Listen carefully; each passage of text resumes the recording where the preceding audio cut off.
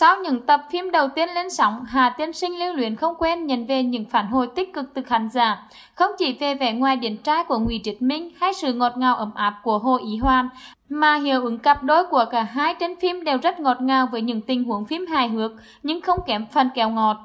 Thường mô típ tổng tài lạnh lùng không còn quá xa lạ với khán giả, thế nhưng nhân vật Hà Kiều Yến trong phim được xây dựng rất mới mẻ khi vừa lạnh lùng cao ngạo nhưng nhưng cũng không kém ngố đời. Nhân vật nam chính là một người có thói quét hoàn mỹ về thời gian khi yêu cầu mọi người, mọi công việc phải đảm bảo đúng thời gian biểu. Thế nhưng cậu con trai có chướng ngại tâm lý dẫn đến cuộc gặp gỡ đình mệnh và bất ngờ cùng cô bác sĩ tâm lý có tính cách trái ngược, tạo nên những tình huống hài hước trong phim. Trong phim đảm nhận vai nam chính là Ngụy Triết Minh, một trong những diễn viên được đánh giá cao về khả năng diễn xuất. Nam diễn viên là gương mặt vừa là vừa quen với hồi một phim khi từng ấn tượng gặp mặt với một số vai diễn như Thường Hoan trong Trạm kế tiếp hạnh phúc, giáo sư toán học Trương Tư Niên trong Quý ông hoàn hảo và cô nàng tạm được. Mặc dù ra mắt với vai trò là ca sĩ nhưng lại thành công bén duyên với nghề diễn xuất và được khen ngợi có khả năng diễn xuất ấn tượng. Khi nhân vật Hà Kiều Yến xuất hiện, anh chàng thành công chiếm trọn tình cảm của khán giả bởi hình tượng tổng tài điển trai lạnh lùng của mình, sự kết hợp của một người đàn ông nghiêm túc, lý trí, lãnh đạm cùng một loạt biểu cảm hai hước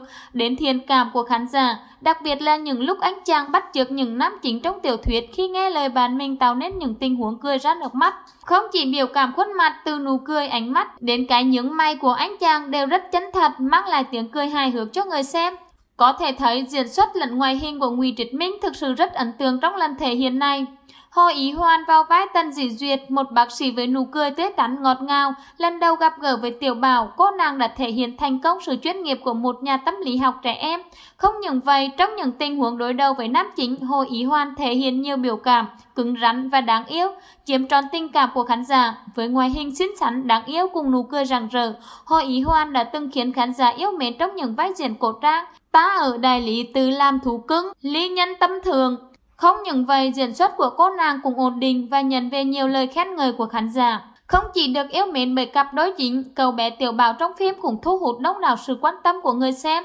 Là một đứa trẻ có chỉ số IQ rất cao và mắc chứng tự kỷ, cậu bé khao khát có mẹ, vì thế tìm cách để kiếm vợ cho bố tổng tài của mình. Với vẻ ngoài điển trai cùng mái tóc xoăn ấn tượng, tiểu hạt tổng hệt như một ông cú non thường xuyên có những biểu cảm đáng yêu khiến khán giả phải cứng xỉu. Vì thế không ít người xem ngay lập tức trở thành fan cứng của bộ phim bởi cậu bé đáng yêu này. Qua những tập đầu tiên phát sóng, mặc dù được chuyển thể từ tiểu thuyết Cô vợ ấm áp của Hà Thiếu, Cùng những tình huống khá quen thuộc, nhưng bộ phim này vẫn rất được yêu mến và hấp dẫn đông đảo khán giả mong chờ. Bản tin của chúng tôi đến đây là kết thúc. Cảm ơn các bạn đã quan tâm theo dõi. Hẹn gặp lại các bạn ở những tin tiếp theo.